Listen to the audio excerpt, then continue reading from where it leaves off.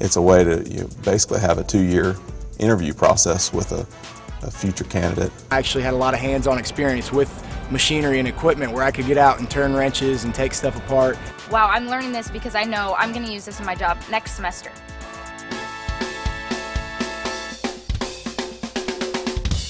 My name is Sarah Rieger. I'm a fourth year aerospace engineering student and I co-op with NASA Johnson Space Center in Houston, Texas.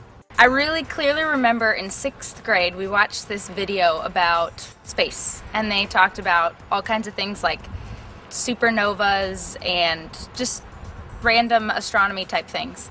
That is when I just really got hooked. My senior year in high school, a friend of mine met somebody who went to Georgia Tech and he was actually getting his master's degree in aerospace engineering. And um, he had a bunch of friends who co-opted um, at NASA. And I just was like, wow.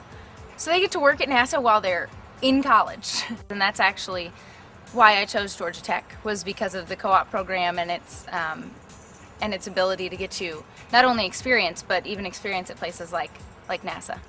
I found myself much more motivated in class because so many of the things I see that this isn't just something I just am learning and am never going to use and who cares about this.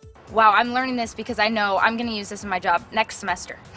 Not even like, oh, 10 years down the road I might use this, but this is something I need now.